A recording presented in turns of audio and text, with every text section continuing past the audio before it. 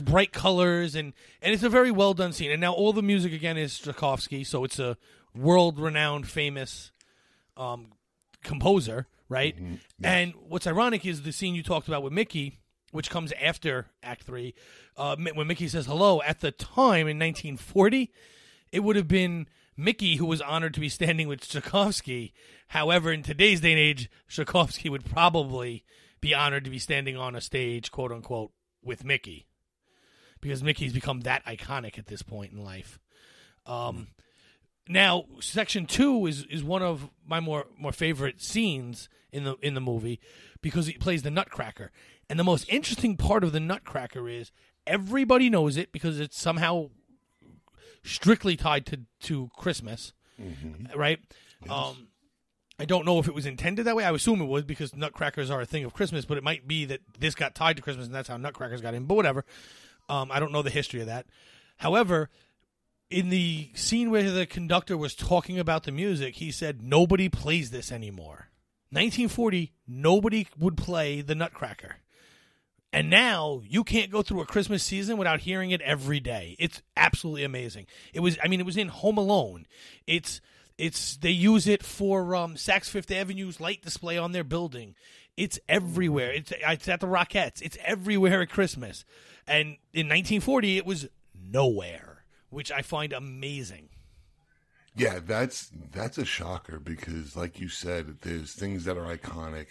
Um, when you talk Christmas and the Nutcracker, you're absolutely right. The Nutcracker is one of them, and you know, listening and watching Fantasia, like I knew the song. I think there was only two songs out of the suite that I didn't know, but I knew the, the beginning Right. and I knew the end. And those are the two famous ones that I know that I associate with when you drive in uh, down your street and you see Christmas uh, lights on houses during Christmas, or you have a block that's dedicated, like we have out here in Vegas. Uh, we have what's called Opportunity Village. And there are certain houses in this village that you drive through, and they do have this music that's playing. Right, and and we have it here in New York too. You have certain towns that are very big on it. Um, you have an area of Brooklyn that everyone does something, you know. So a lot of people go there to that area, um, and like you said, th- this music and other other famous Christmas music. But you're hearing, I'm guaranteeing you, you're hearing Nutcracker. So the breakdown of that is, um, you have Nutcracker uh, Suite, right, and you have a couple versions of it. So you have first you have the dance of the Sugar Plum Fairy. That's the one you were talking about, which the spiritual ancestor of uh, Tinkerbell, most likely. Yes. Then you have the Chinese dance. Then you have the dance of the reed flutes. Right now, this this departs from Nutcracker and does the dance of the reed flutes, but then it goes back to Nutcracker for an Arabian dance, a Russian dance, and the waltz of the flowers. Now, waltz of the flowers is the part I like probably the most because this is the one, um, if I'm not mistaken, where the flowers that are eventually going to be in Alice in Wonderland are coming by in rows, and this is one of the ones I love. Now, my daughter also just started doing dance this year, so she just started ballet and tap dance. So it's even cooler to watch something like this with her because she sees like her dance in there. You know what I mean? Like, and now I'm watching it through the eyes of a six year old dancer. You know? Yeah, and then th- and just wait. You know, I'm pretty sure Christmas is just around the corner, so you'll they'll be doing a Nutcracker. I'm sure. Oh, absolutely, absolutely. Now, after the Nutcracker is over, and we have all the great the Chinese dance, the Arabian dance, the flowers, the Russian dance. You know, which is cool because we get to see all these different cultures at a time where TV wasn't very accessible to a lot of 1940. You know, TV was not accessible. You had to go to the movies, and not everyone could go to the movies. But this is a way for other people to get, you know, just some knowledge of these other cultures and they're seeing it through an animated characters you know bring these these cultures to life for them. Then we we step out of the the cultural phenomenon and we see um the most famous of scenes from all of fantasia which is the sorcerer's apprentice where Mickey, you know, sees the sorcerer, he grabs the hat, he wants someone else to do his chores, and you know everything goes awry, um, which is the uh, basis of my tattoo because I have Mickey on top of the rocks. The water's not going all the way up, but it's the you know it's the premise that counts here. You know what I was going to say? Watching The Sorcerer's Apprentice, and you mentioned with the broomstick, um, it kind of takes me back to the latest Star Wars, uh, the latest Star Disney Star Wars movie that released, uh, at the point where at the end, you have the young Jedi, or who we perceive as the young Jedi, that are in this area, and they have the the little 1940s hats.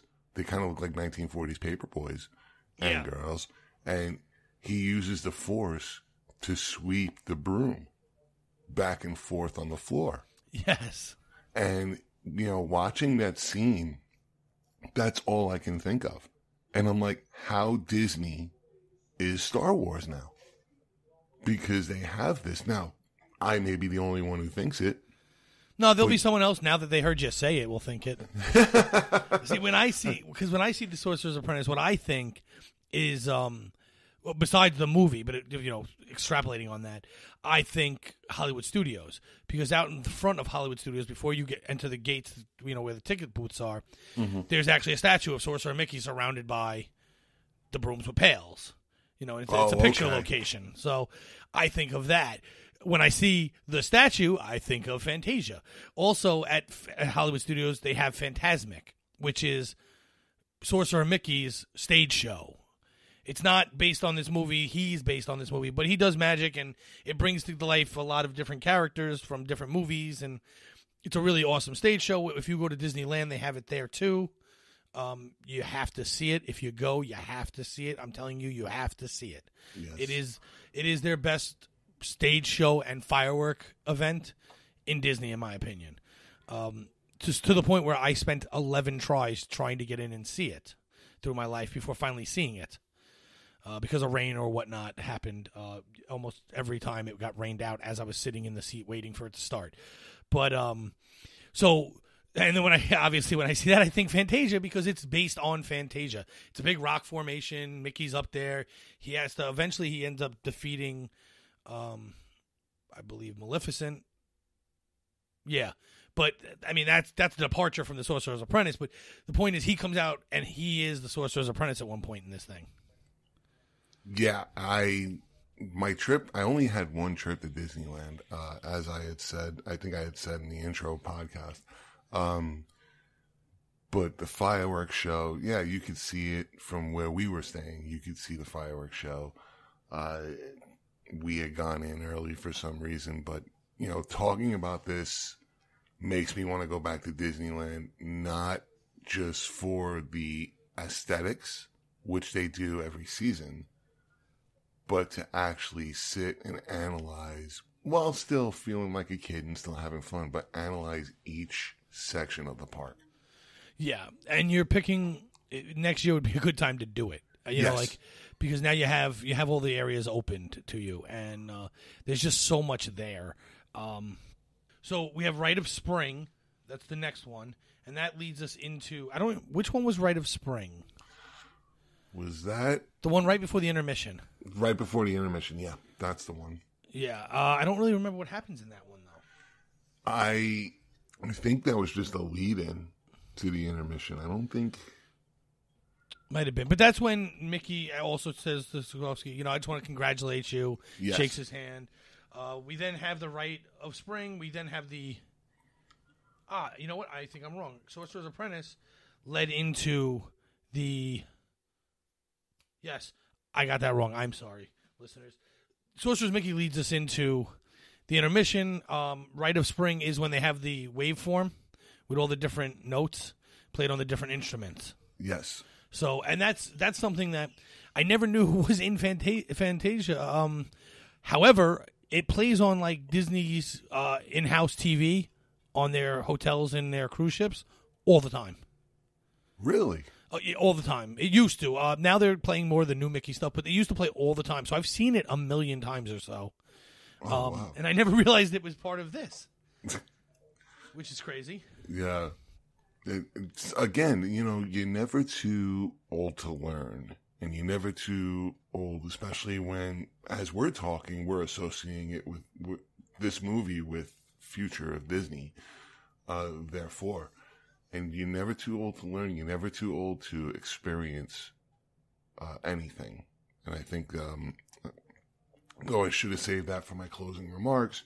Uh, I just wanted to put that out there that it's amazing what people do in marketing for Disney, like you said, Disney Cruise, Disneyland, Disney World, to invoke happiness, and this is the start of it.